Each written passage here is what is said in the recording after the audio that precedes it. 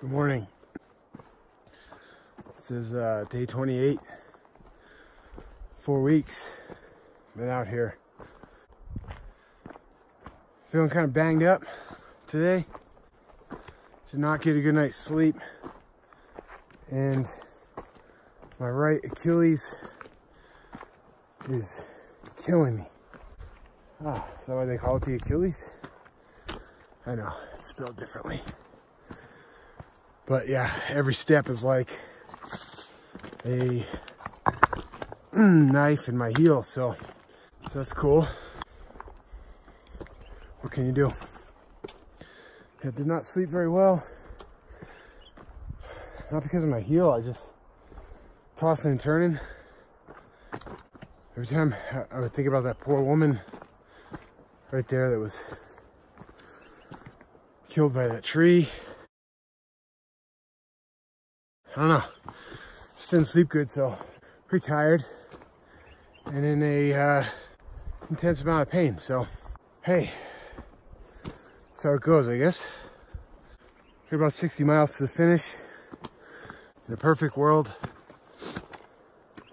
I'd do 320s, but I think there's some water scarcities for a good 20 mile stretch and I might do a shorter day today. If my heel doesn't start cooperating so who knows? Still out here. Every step gets us gets me closer to the finish. See what today brings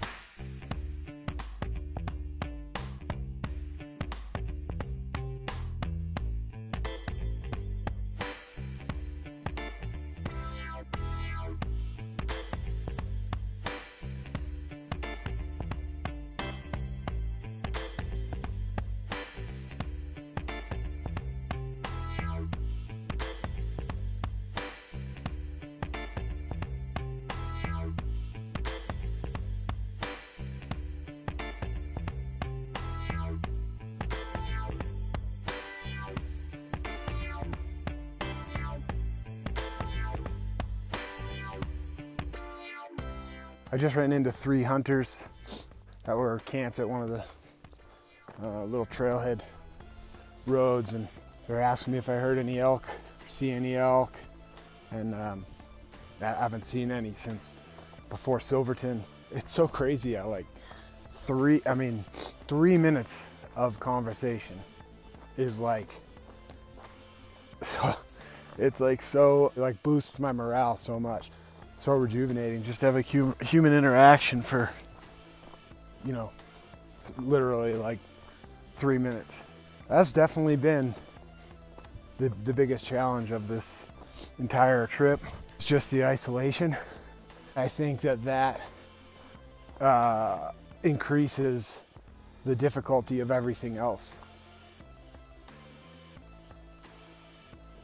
Meaning, like, you know, when it's cold, when it's when I'm tired, when I'm hungry, when I'm confused, when I'm overwhelmed. I feel like everything it's, it's all intensified by like being completely alone with it all. If that you know, like not having it like anyone to share that with, like it feels like heavier or something. And I'm not I'm not complaining because you know I came out here for all of this. But it's one of those things like I'm glad I didn't know that it would be as intense as it is or as isolated as it is or that this isolation would feel this way before I came because I would have probably had a little bit more uh, trepidation about coming, you know. I just came out here like super confident, super ready. It's definitely been humbling, you know. I think that's why the other day, like staying in Silverton, that extra, taking that zero day, you know, it made sense time wise. It's also just like really great because a whole bunch of us had kind of come together it's like one of those like movies like um, I don't know where every all, all, all, these different travelers have all like met up at this hotel, all from different backgrounds, going in different directions. There was two guys who were just finishing. They're 40 miles from finishing um, a bike tour of the Colorado Trail. They were riding out that that night, and so talking to them was really cool. My last big trip was my cross country bike tour. And then there's all these diff- different hikers that were coming in, and everyone's near the end. And it's one dude who just got injured, and so like he's he he has to come back and finish the trail in uh, you know when, when he heals up. And then there was a couple that was finishing up, and so it's just cool. Just really like human interaction. I realize like how vital it is for mental health and vitality. I think taking a trip with uh, another person or several people has its own set of you know issues and that you have to navigate. No pun intended, but it's probably a more desirable. It's probably a reason why a lot of people uh, you know form like what they call a tramily, which is when you're on the trail and you end up with people for days uh, or the whole trail. You kind of lean on each other. I'm sure, like any family, you have your arguments, your disagreements. This is when I know I'm talking too long. My arm starts to get tired and I have to switch arms. There's gonna be some serious editing. I think that that Tramily thing obviously is a reason that that becomes popular. I think even solo hiking on more popular trails or, or, or during the more popular season, I think back to my cross country ride and I don't, I remember being tired, I remember being frustrated, I remember having, you know, all of this overwhelmed, everything at times. But I don't remember this isolation. I, mean, I remember being lonely, but it's occurred to me that just being on roads that were made by a person, passing cars that were, you know, being operated by people, that made such a difference every day. And being out here, like right now I'm walking on this road.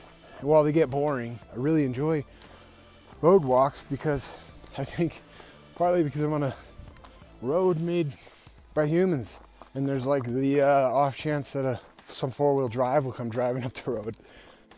It's interesting how much uh, isolation affects um, me and how much of a challenge it's posed for this trip.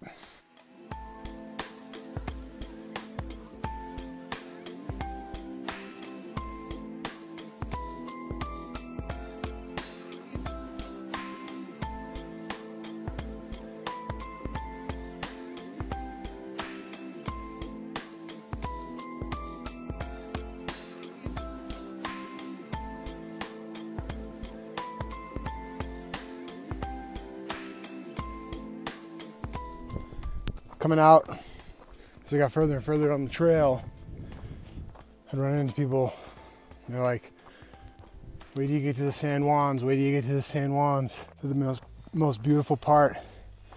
I have to say, the San Juan mountain range is unbelievable. All the different colors and uh, like textures and types of rock. I mean, purples and reds and like these blues and grays and greens.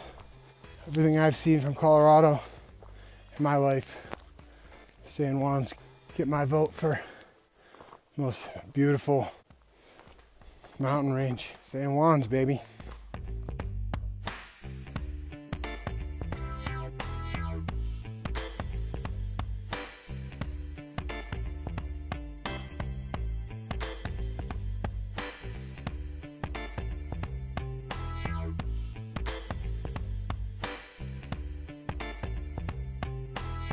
Shit.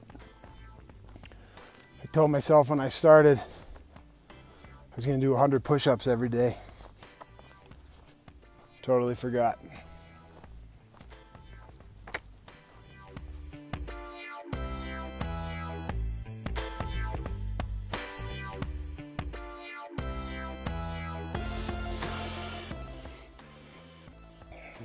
That up there is my second to last 12,000 foot pass.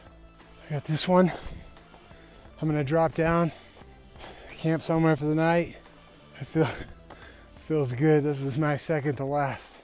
Uh, the kid don't like being above about 11, 11k. Things start misfiring, not working properly. I'm gonna try and soak this in because there's only a couple more of them.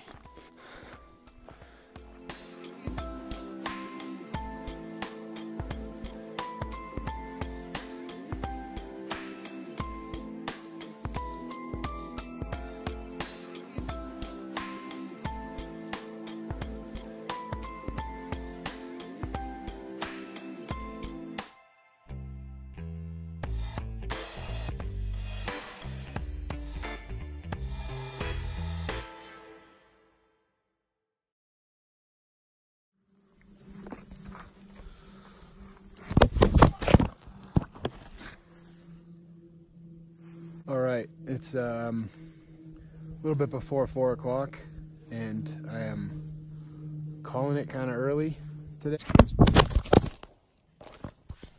Uh, I only made about 15 miles. Couple reasons. Uh, first one being I am at what appears to be the last water source before a 22, some reports say 22 miles, might be more like 18 uh, with no water. My thought is camp here tonight.